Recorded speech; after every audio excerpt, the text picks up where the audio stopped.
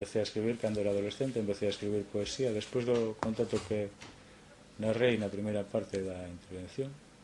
A poesía chamou por min e acompañoume durante moito tempo.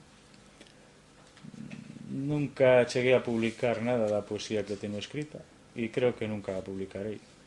Despois peguei coa narrativa porque me pareceu unha maneira máis simple de enfrentarse a digamos, aos feitos aos feitos que construyen a vida, que no fondo se a literatura serve para algo é para enfrentarnos a vida a través dunha metáfora que, como decía Calvino, pode ser un espello que te protexe, un espello que te preserva da horrorosa, horrorosa realidade e che permite enfrentarte aos teus enemigos. Non?